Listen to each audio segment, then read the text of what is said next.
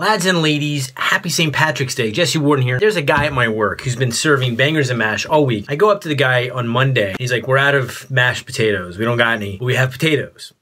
And so I'm like, dude, the working conditions at this place. It was funny. It's like that guy needs a hug or a Care Bear stare or something. Oh no! Oh, Potato.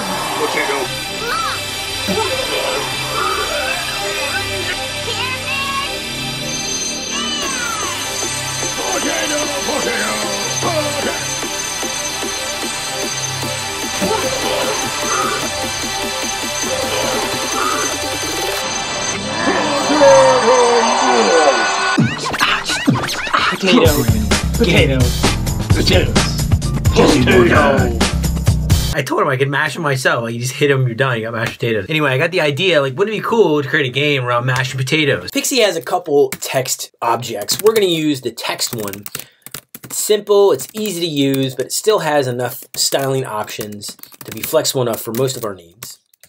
So we're going to create a new Pixi text object here, and it, the constructor takes in the default text that you want it to show on the screen. However, the text defaults to black. So if you have a black background like we do, you're not going to be able to see it. Let's use a new property that it has called text style, and you set it to a new Pixi's text style object. And all this class does is it wraps an object and it knows how to interpret this class from text style. So we're going to pass in an object with one property called fill, set it to white, which is six Fs with a zero X in front is the hexadecimal value of white, and a really large number. Now we have a white text field. Let's go ahead and add it to the stage so we can see it. So we'll say app stage, add child, add the score text, hit save, let it reload, go back to our browser, and there you go. We got a score in the top left. It's text field. And if you were to move it around, it would redraw on the screen. And notice if we change the score to something else, you'd see score 100 after the screen refreshes, or you could just type in cow, man hit save, and it, basically whatever text you want. If we're going to do a score, we have to keep that value somewhere. So let's do a let of score and set it to zero by default. Let's create a set score method. What it'll do is it'll take our value.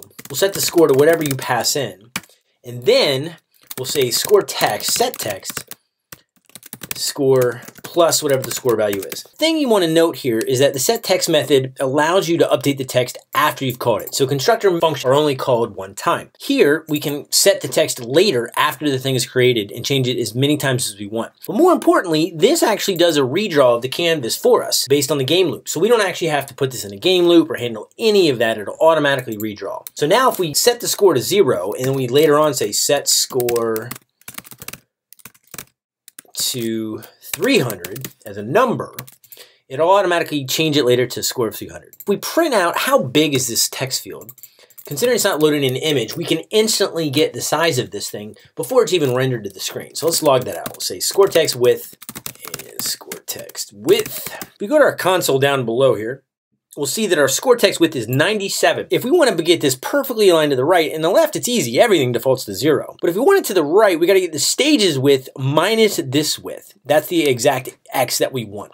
Now in CSS, if you're willing to do absolute positioning, you can simply say this text field's right is zero and its top is zero, and it would be flush with whatever this particular container was, based on if it was its parent. We don't have that in Canvas. Canvas is raw, everything's absolutely positioned. So let's get some absolute math. Although this black square is our canvas, the screen is what actually calculates the width with regards to the actual browser and what it fits in with. Let's use the screen's width minus the text width. This is not gonna work, but we'll show you how we're close. We'll say this X is basically the app screen width minus the score text width. I just want to point out the reason we can't use stage is stage is actually a container. If we query the stage's width, by default it'll be zero because it has nothing in it. As soon as we add the text field, it'll calculate the text width and use that as how big the stage is. If we added the text X to 100, it would then be 100 plus whatever the text field's width is as the container's width. And stage is only a measurement of what's inside of it. It's not actually a hard-coded value of how big is the black rectangle we're actually looking at or the canvas on the actual screen inside the browser. So if you hit save, go back, for some reason, it didn't minus all the way. It should actually be over here a couple pixels, but why is that completely busted? Well, when you change any object, it's remeasured and its width and height are recalculated. In our case, we've set the text longer because we added two characters of 300 and we modified the style.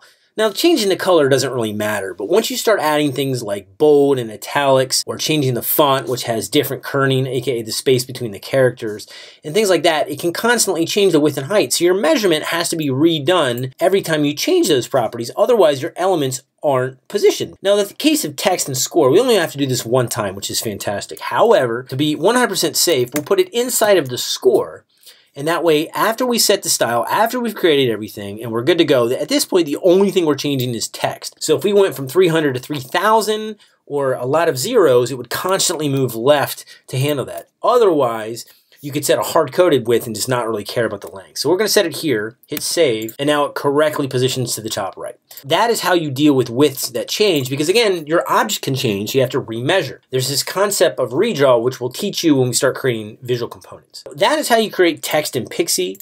That is how you create text styles and modify how it looks. And there's many more properties than fill. Take a look in the docs. And we add it to the stage just like any other display object, but it has a nice set text method that allows you to update the text after you've created it, automatically redraws it on the screen for you. And just like every other display object, you can absolutely position it wherever you want. Do some semi-responsive design by adding it, multiplying it based on its properties changing over time.